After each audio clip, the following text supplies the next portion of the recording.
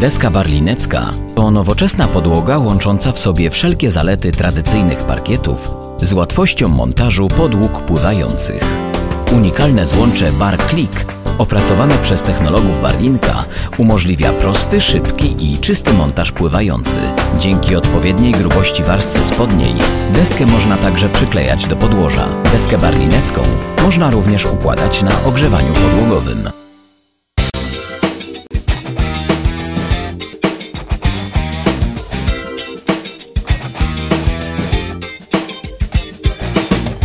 Podłogę z deski barlineckiej możemy układać na każdym suchym, czystym, trwałym i równym podłożu. Ponadto musimy sprawdzić wilgotność podłoża, która powinna wynosić odpowiednio dla betonowego 2%, dla drewnianego 8%, dla anhydrydowego 0,5%.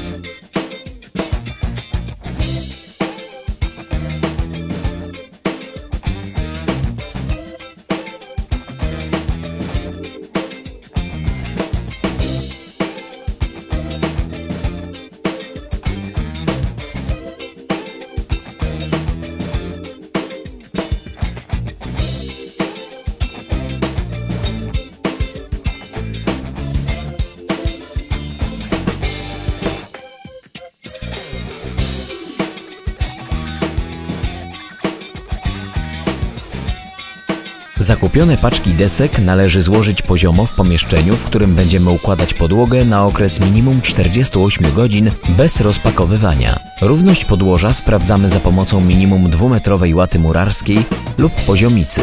Różnice w poziomie podłoża na 2 metrach bieżących nie powinny przekraczać 2 mm.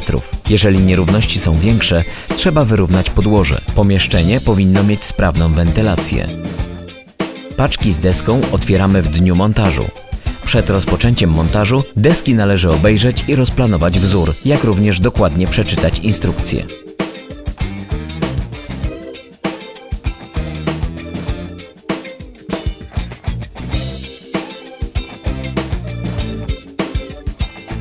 Do ułożenia podłogi z deski barlineckiej niezbędne są następujące narzędzia. Młotek, przyrząd montażowy, miara drewniana lub zwijana, drobnozębna piła ręczna lub pilarka elektryczna, kliny drewniane, klocek do dobijania desek.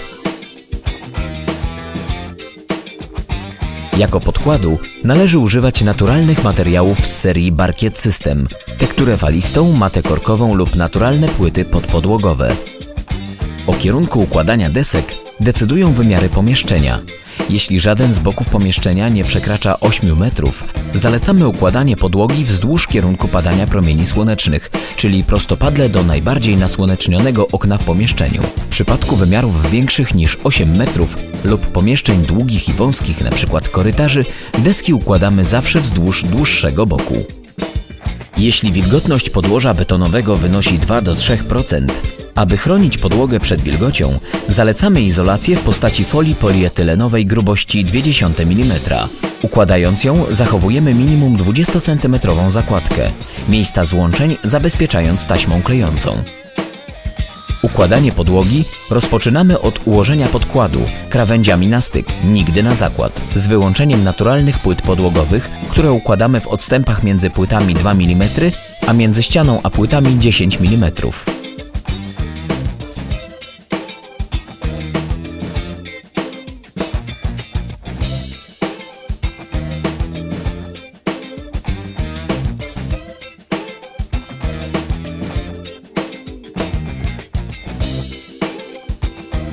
Pierwszy pas desek układamy piórem do ściany. Poszczególne deski łączymy na krótszych krawędziach przez równoległe wsunięcie wyprofilowanych elementów złącza pióro w pust kolejnych składanych desek. Ostatnią deskę przycinamy pamiętając o zachowaniu szczeliny dylatacyjnej, w którą wkładamy kliny.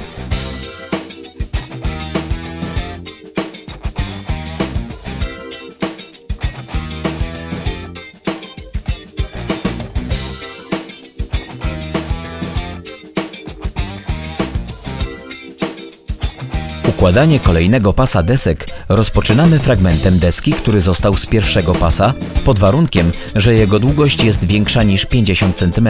Należy też pamiętać o zachowaniu minimum 50 cm przesunięć pomiędzy końcami desek w sąsiadujących pasach podłogi. Odchylony odcinek deski wkładamy piórem we wpust, a następnie dociskamy go ręką w kierunku podłogi.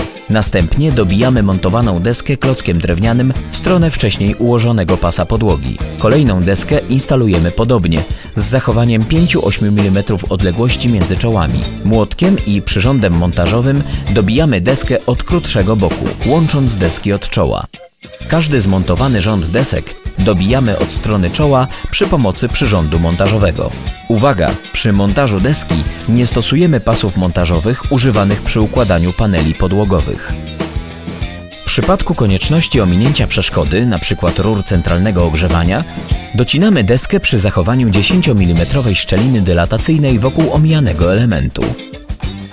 Ostatni rząd desek należy dokładnie zmierzyć przed ułożeniem. Jeśli jest zbyt szeroki, przecinamy deski do odpowiedniego wymiaru.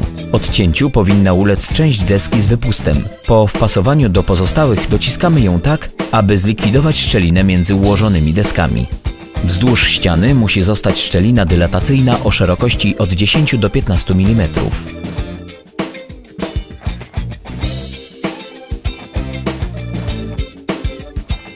Po ułożeniu podłogi usuwamy kliny blokujące, a pozostałą szczelinę przykrywamy listwami dekoracyjnymi. Listwy mocujemy do ściany. Nie wolno montować listew bezpośrednio do podłogi.